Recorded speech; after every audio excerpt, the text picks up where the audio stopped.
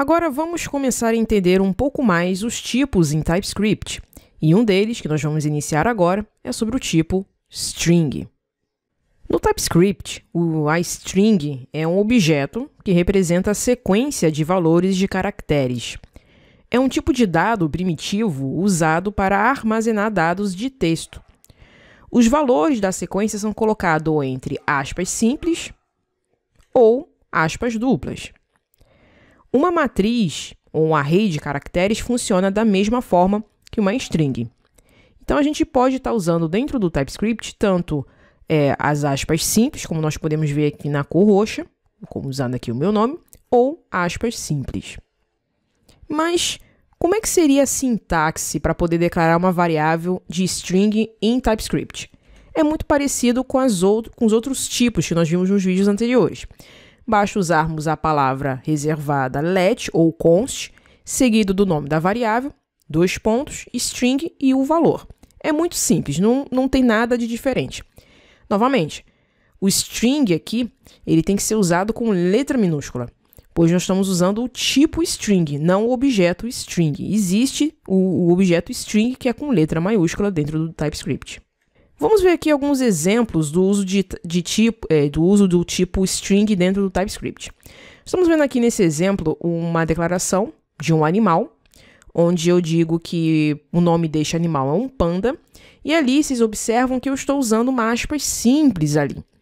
E no exemplo 2, notem que eu estou fazendo o mesmo estilo do mesmo exemplo do primeiro animal, mas agora sendo o elefante, mas usando aspas duplas.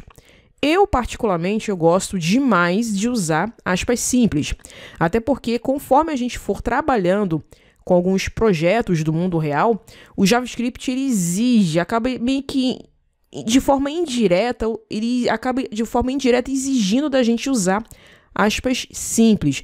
Até porque quando você for escolher um tipo de linter, como por exemplo o Airbnb, por exemplo, que é muito usado nos projetos atualmente, ele, ele converte justamente para aspas simples.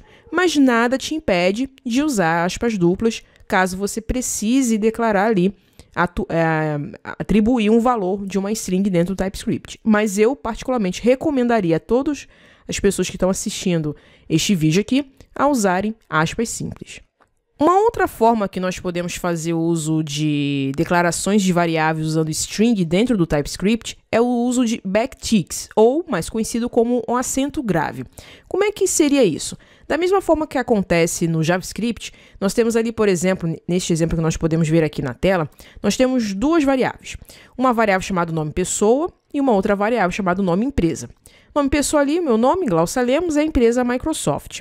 Note que na variável detalhes pessoa, que vai justamente recuperar né, os dados da, da, das variáveis declaradas acima, tanto de Glaucia Lemos quanto de Microsoft, nós, nós, estamos usando ali, nós estamos usando ali os backticks, ou os famosos acento graves, para poder declarar uma variável de uma string para justamente resgatar a, a, variável daquela string. Note que ele vem seguido de um backticks, do cifrão os colchetes e as variáveis.